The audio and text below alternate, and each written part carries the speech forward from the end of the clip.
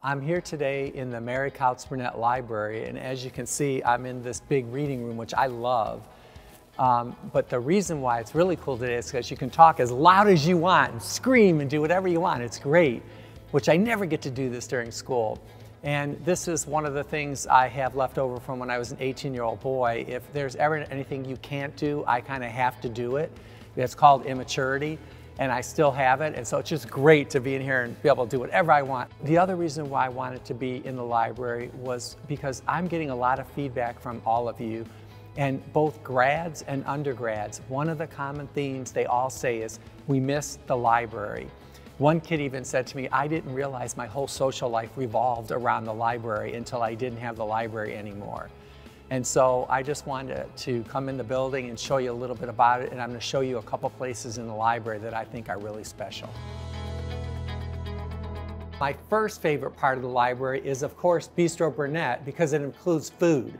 But what it really includes is the best chai tea on campus. And so right now I tried to get in with my card because I thought my card would let me in everywhere on campus.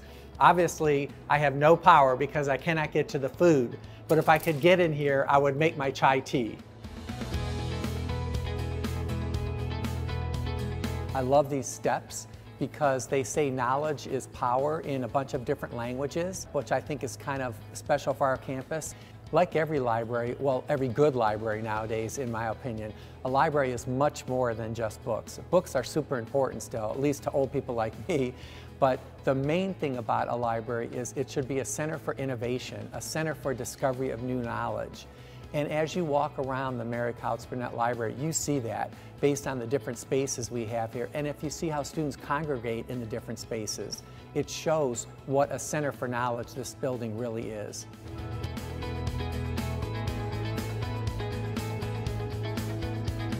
A lot of people say that the library is the academic heart of the university. But I don't totally agree with that because you know what the real heart of the university is? It's you, our graduate and undergraduate students. You make this place special. You make this place better.